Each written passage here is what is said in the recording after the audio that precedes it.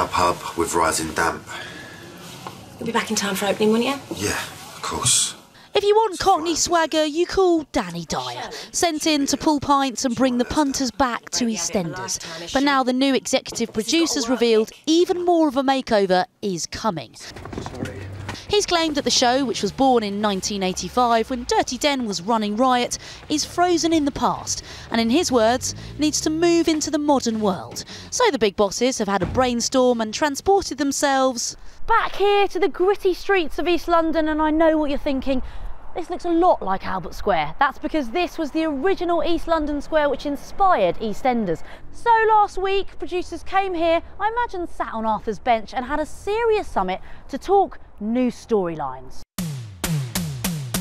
Like a true cliffhanger, they're not giving much away. We do know that Sharon's plans to open a trendy new wine bar could rival the Queen Vic, and you heard it here first. Last week, Shane Richie, aka Alfie Moon, told Channel 5 News changes were coming. It's a wonderful new family that have taken over the Queen Vic, and it's a great asset to the show, and things are moving forward. And, and you know, the show needed a shake-up, and Dominic Treadwell Collins, our new exec, has done just that. 80 pence a bag, leaks. Come along.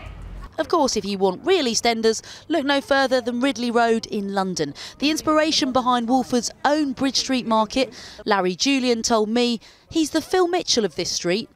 They're missing the humour, the humour. It's all about the social, not just the social side of it, it's all about the humour. The, the, the greatest thing about EastEnders is the funny side of it all.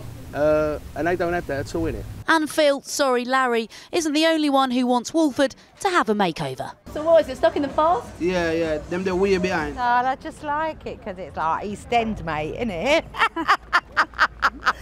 so it doesn't need to move with the times, you're happy? I'm happy with it. And if you're looking for new stars, then look no further than the real East End. Minnie Stevenson, Channel 5 News.